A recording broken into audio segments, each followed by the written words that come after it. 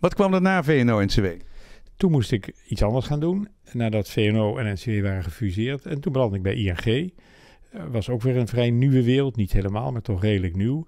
En misschien wel vooral omdat ik dacht, uh, als ik nou net zoveel van bankieren kan weten als de verzekeraars en net zoveel van verzekeren als de bankiers, dan kan ik met beide verder.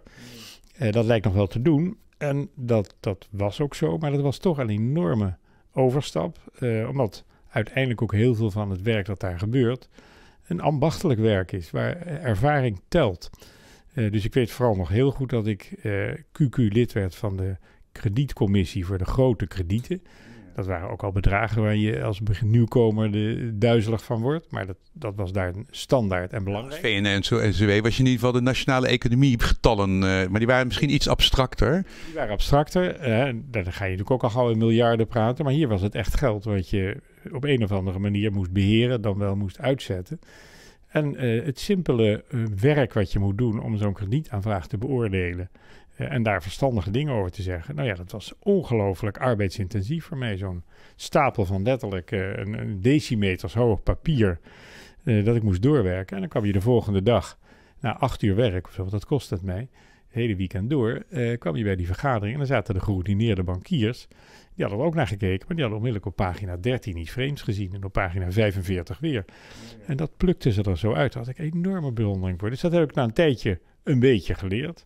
Maar dat was een opgave. En wat heb jij daarbij gedragen bij ING? Want ING is wel een, een beetje een unieke bank, want die heeft heel erg een, uh, een, een beetje een overheidsachtig ding. Hè? De postbank was een beetje toch nog een beetje het oude, het oude vanuit de overheid gedacht als publiek dienst. En aan de andere kant was het die uh, NMB, uh, was het ook weer NMB. Dus het was uniek met allemaal verschillende formules. En ook allemaal hele leuke mensen, zoals Hans Verkoren, die echt ING direct heeft opgericht. Met allemaal, die, die allemaal heel integer ook hun werk deden. Met, het was een bank die helemaal in, in beweging was. Wat, wat heb jij daarbij gedragen? Vooral denk ik een achtergrond vanuit die publieke sector. Die, dat was voor ING heel belangrijk. Een achtergrond ook vanuit IT, want dat was mijn vakgebied. En dat was natuurlijk voor die bank toen ook al belangrijk. Nu nog belangrijker, denk ik, maar toen ook al. Dus dat had ik in ieder geval. Wanneer ben je dan bij de IT? Want je bent wiskundige, dat zijn nog niet allemaal uh, IT'ers. Nee, maar ik was toegepast wiskundige. En het vakgebied waar ik zat, dat, dat kon bloeien en groeien bij gratie van de IT. Dus je was op zijn minst was je gehouden daar iets van te weten. Het interesseerde mij en ik kon in ieder geval ook het gesprek voeren met wie er heel veel verstand van had. Dus dat... En, en, en universiteitssystemen die waren ook geweldig met ICT. Die waren als eerste, maakten je hele grote zware systemen die daarna heel moeilijk veranderden. Dat wel, dat wel, maar...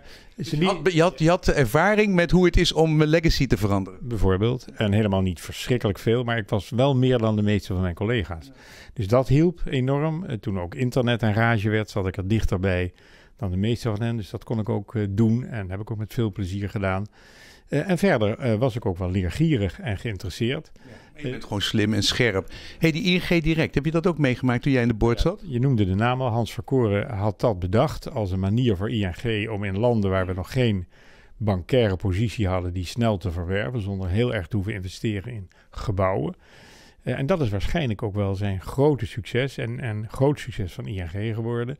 En op vreemd genoeg ook de oorzaak van een groot probleem, namelijk door dat grote succes en door al te snelle groei achteraf misschien in de Verenigde Staten, dat we opgezadeld werden, noodgedwongen, want geen keus, met een behoorlijk groot hypotheekportefeuille, waar plotseling allerlei lelijks in bleek te zitten, wat er niet in thuis hoorde. Maar was dat nou zo? Want inderdaad, die, die, die portefeuille was natuurlijk van, tijdens de crisis meteen nul waard. Hè? Niemand wilde er meer aan. Maar uiteindelijk is dat toch allemaal netjes afbetaald? Dat is helemaal waar. Maar tijdens de crisis, helemaal waar. Dus achteraf is er geen enkel verwijt te maken. Al helemaal niet aan Hans Verkoeren, als iemand dat al zou durven. Maar wat wel zo was, is dat tijdens die crisis, uh, waar je voortdurend geacht wordt te waarderen op marktwaarde, die hele balans van ING in elkaar stortte.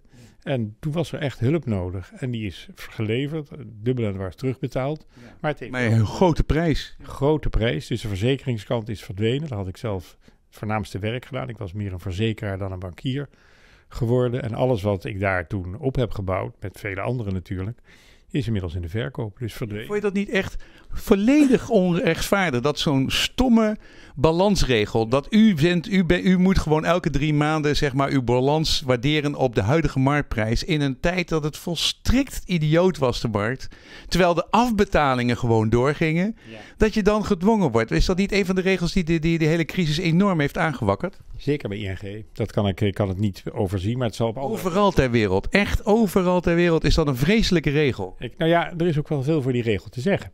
Want uh, onder normale omstandigheden is het denk ik ook wel in ieders belang uh, om bankiers en verzekeraars scherp te houden en ze snel te confronteren met wat er in de markten gebeurt waarin ze actief zijn. En... Anticyclisch opereren, dit was gewoon cyclisch, eh, zeg maar, met de crisis de hel ingaan. En niets anticyclisch, terwijl het eigenlijk niet nuttig was. Het, het ergste was, ING was een mooi voorbeeld, maar je had op een gegeven moment had je ook uh, Leaseplan. Die had miljarden, uh, zeg maar, geleend en die waren opeens waren die minder waard. Die, die, die had helemaal geen cashflow probleem, maar alleen dankzij die regel. En het zijn duizenden banken die zo in de problemen zijn gekomen. Ja, maar dat, dat bestrijd ik ook niet. Uh, dus uh, het enige wat je er achteraf van kunt zeggen, twee dingen kun je eigenlijk zeggen. In de eerste plaats um, hadden we het kunnen zien aankomen. Um, en dat vind ik een hele terechte vraag. En dat is een vraag die eigenlijk aan de hele sector gesteld moet worden. En het beste antwoord dat ik daarop kan geven is ja, maar het beste excuus is, niet alleen zagen de bankiers dat niet, maar ook degenen die ervoor waren ingehuurd om het te zien, en alleen daarvoor waren ingehuurd, de toezichthouders, zagen het ook niet. Nee.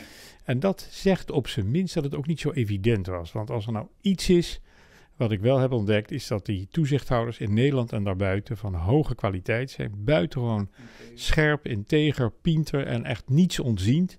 Dus als ze daar ook maar iets van hadden vermoed, dan hadden we het zeker gehoord. Dus het is ook voor hen als een complete verrassing gekomen. En toen het kwam, was het achteraf ook wel een unieke combinatie van factoren. Maar heeft het onvoorstelbaar veel schade aangericht. In allerlei opzichten, ja. zichtbaar en onzichtbaar. En die schade bestaat in zekere zin nog steeds. Ja. Jullie hadden wel, wat ik uh, vond, jullie hadden 1200 miljard balans totaal. Hè? Het was echt wel een behoorlijk bang. En, en ik geloof 3 procent. Uh, eigen vermogen. Dus het, het, het, de vermogen om klappen op te vangen was ook wel klein. Dat was klein, maar het interessante daarvan is weer dat ook dat niet zomaar door ING bedacht was. Maar dat dat onderdeel was van een wereldwijde discussie die in Basel werd gevoerd en afgerond. En daar werd eigenlijk vastgesteld wat verantwoord was. En dat werd gebaseerd op historische cijfers. En dat kleine eigen vermogen, wat nu overigens echt wel iets groter is dan het toen was, was eigenlijk royaal voldoende om alle klappen op te vangen. Want bankiers natuurlijk ook reserveren voor leningen waarvan ze vermoeden dat ze ooit problemen kunnen opleveren. Dus het moest niet alleen maar, sterker nog, het moest liever juist niet langs dat eigen vermogen, maar langs de reserves die bestaan. En die reserves waren toen ineens volstrekt ontoereikend, maar met name was wat ik nu net vertelde en wat op vele plekken waarneembaar was, het feit dat de marktwaardering ineens wegviel. Dat was de doodsteek. En niet de cashflow, ja.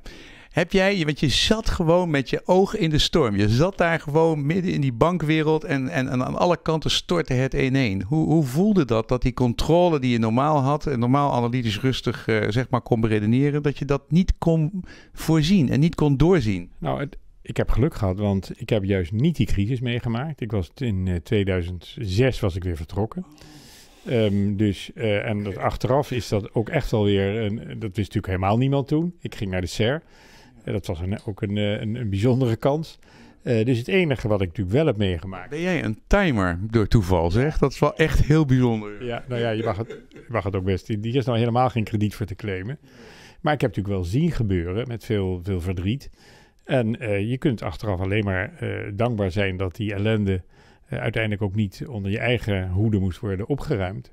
En bewondering hebben voor wie dat gedaan heeft. Want het is een heel ondankbaar en naar en wereldwijd hebben mensen daar jaren van hun leven aan gegeven. en hebben ze er uiteindelijk de sporen van meegedragen. Ja. Ik vond het wel heel jammer dat het ING opgesplitst moest worden. Vooral omdat het gewoon echt achteraf bleek dat het cashflow, dat het allemaal prima hypotheken was. En Hans, ik en Hans, had een leuk interview online staan bij Hans en hoe hij gedwongen was om die hypotheken in Amerika te besteden. Allemaal rare regels en zo. En dat is toch wel goed gelukt.